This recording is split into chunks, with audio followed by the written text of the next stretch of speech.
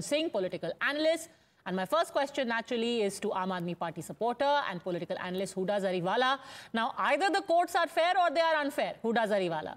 Yesterday, everyone was lauding the court. Today, they are saying dictatorship aa gayi.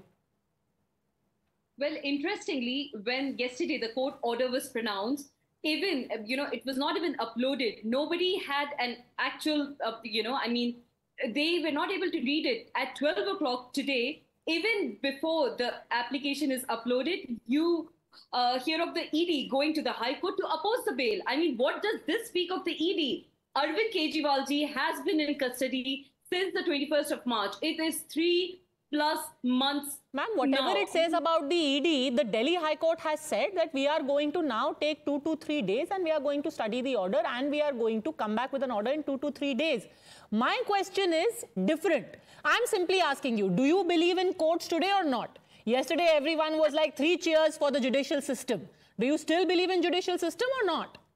We absolutely believe in the judicial system. It was the same judicial system that had granted interim bail to Arvind Kejriwalji for 21 days to campaign for the Lok Sabha elections. It is the same Supreme Court, Honorable Supreme Court, that has granted bail to Sanjay Singh ji just because ED couldn't oppose the bail. And we are very sure that even in this case now, even after two, three days, we're very sure that Arvind Kejriwalji is going to be out on bail. He is not a habitual offender, hmm. as was given in the court judgment during the time of the interim bail. Clearly, he is being treated like um, you know a hardcore criminal, By a who? terrorist, terrorist of sort. I By who?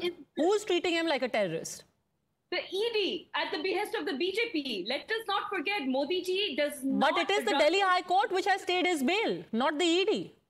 And it is the same court that will be granting him bail in the What if it doesn't? very sure of that because there are no charges to prove against him. ED was trying to oppose the bail of Sanjay Singh ji. That did not happen. ED was trying to oppose the interim bail of Arvind Kejriwal ji. Clearly, they couldn't do that then.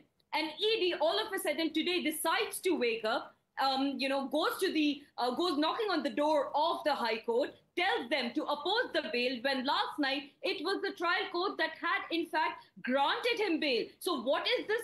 You know, dictatorship, the anarchy, Okay. Why is the ED so desperate?